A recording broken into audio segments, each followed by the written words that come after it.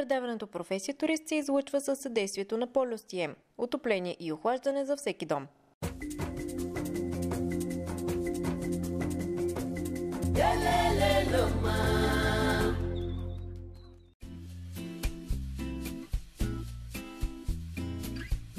Въпреки, че живеят тук само от няколко месеца, Марти и Емо се чувстват като у дома си. Като цяло избягват туристическите места, имат много приятели от близките села и с усмивка ни разказват за тях.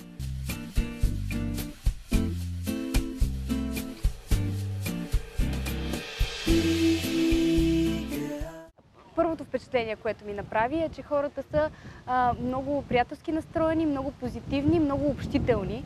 Това не е типично за България и а, съответно тук това много ме зарадва.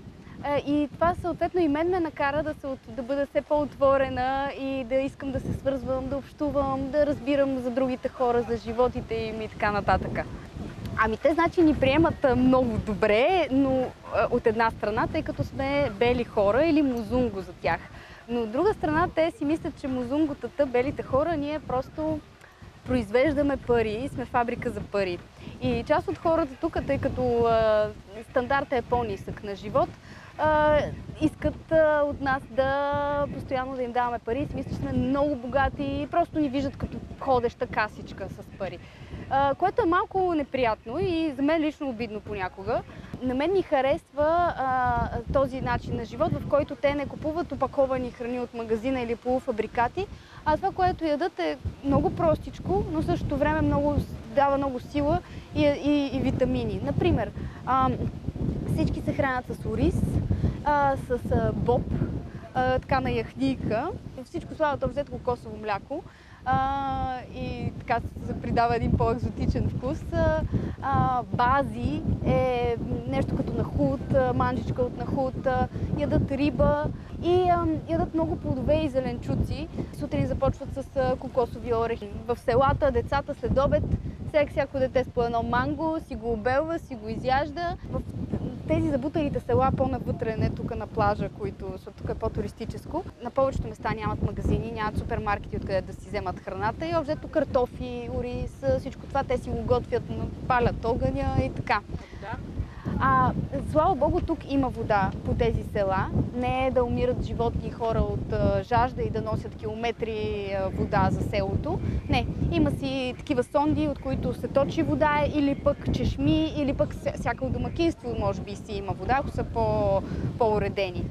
Но като цяло живеят а, близо до земята, а, без а, така, кой знае колко вещи и удобства. Те а, не се оплакват от начина си на живот. Не са в това състояние на немотия и че нямат, а са в едно съзнание на изобилие. Тоест, те ценят малките неща и са благодарни всеки ден за това, което имат тук и сега. Децата а, нямат играчки, тъй като няма и магазини, тъй като нямат и достатъчно средства да, родителите да им купуват пластмасови играчки, шарени неща. Такова нещо никога до сега не съм видяла по селата, а ние много обикаляме. А, децата си играят с а, с, с собственоръчно създадени играчки. Аз имам много, много интересни снимки как едно дете си само си е направило колелото от дърво и наистина то работи и си го кара и се забавлява по цял ден с него. Друго си беше направило топка от парцали, умотало различни неща, намерило и създало топка и с едно въженце играят с тази топка всички футбол, търчат по цял ден, измислят си различни игри. Това показва колко всъщност много се развива креативността, когато, има, когато липсват неща.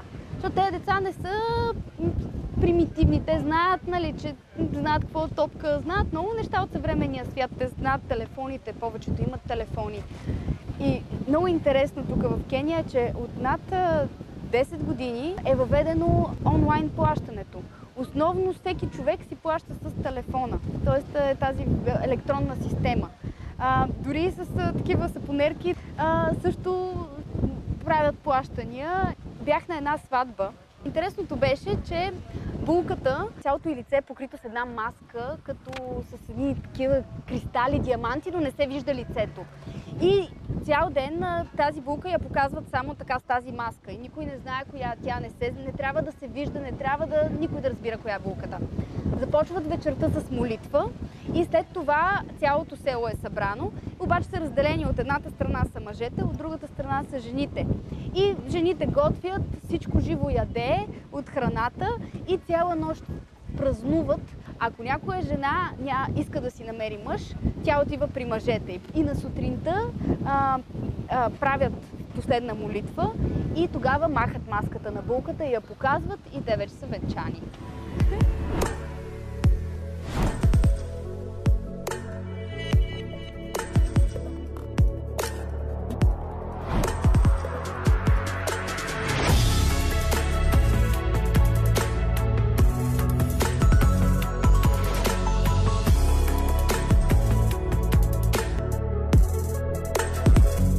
Една сутрин, а, докато си слагах кафето на котлона, кафеварката на котлона, си отворих фейсбука и видях обява, че се търси пилот. И преди кафето да е станало, кандидатствах за тая работа и ето, сега съм тук. Какво правя? Летя с китовия коли. да, много странна работа. Аз попадам на такива, но а, работата ми е да спотвам китовия кули от въздуха с тази машина, с Moto Delta Planner а, като идеята е, че намираме китовите акули в океана, извън кораловия риф а, и насочваме лодката с а, туристи, които искат да плуват а, с китови акули и да си направят селфи. Плуват с шнорхел и плавници. Китовите акули не са опасни, защото ядат планктон и малки рибки. Една от най-древните риби на планетата, една от най-голямата риба на планетата, също така още не съм имал късмета да плувам с нея, защото моята работа е да летя и да ги намирам от въздух. От момента, в който стъпих в Кения, се чувствам като у дома си и най-вероятно ще дойда пак. Чудесно място за изкарване на зимата. Има чужденци, но няма, сякаш не, не може да се види това, че има много туризъм. По-скоро има някакви хора, които идват от години тук. Мен те са ми по-интересни, те, които са дошли да си живеят или правят миграционен туризъм. Т.е. изкарват си зимите тук, връщат се тук и са за поредна година. Иначе има и туризъм, но не е много или поне то километричен плаш, който е тук, някакси ги попива всичките и не можеш да, не можеш да ги видиш. Тенето с Moto Delta Planner е чудесно, защото вятъра идва от към океана, въздухът е ламинарен и така. Носи парапланера, има едни байри тук на 20 км, летяхме ги вече при източен вятър.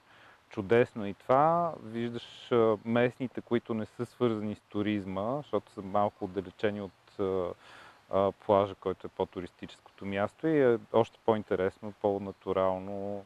Има манго по дърветата, банани, маймуните ходят по улиците и така, слонове, Основно водни спортове покрай океана и а, сафарита с диви животни в море, морски или сухоземни. И така, това се предлага основно тук. Но културата така или иначе е толкова различна, че е достатъчно интересна, според мен.